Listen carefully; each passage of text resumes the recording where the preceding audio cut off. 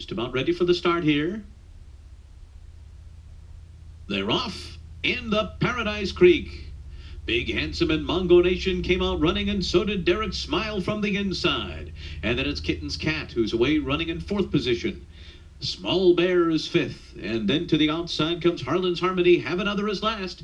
As they head up the backstretch, Derek Smile and Mongo Nation are locked in an early speed duel here, and Big Handsome lays just behind them and sits third, a length and a half off the lead after a 23.15 quarter. Not all that fast. Kitten's Cat is down on the inside, running in fourth, moving for the turn, then a three wide Harlan's Harmony, followed by Small Bear and have another on the inside. Derek Smile in front. Mongo Nation is a length behind, running in second, midway on the far turn.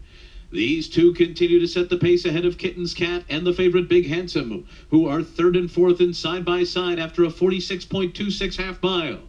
Derek Smile will turn for home with Mongo Nation alongside and Big Handsome looming up outside the top two and coming three wide. Kitten's Cat is right behind the leaders, has to swing out in fourth or into the stretch. Big Handsome, Big Handsome takes the lead, goes by Mongo Nation and angles to the inside. And then it's Kitten's Cat who has moved up into second, but it is Big Handsome and he's got a five length lead. Then Kitten's Cat, Mongo Nation, followed by Small Bear, and on the outside, Harlan's Harmony.